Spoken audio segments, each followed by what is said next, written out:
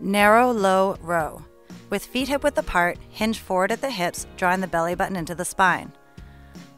Draw handle in towards belly button, keeping the shoulder blades tight together.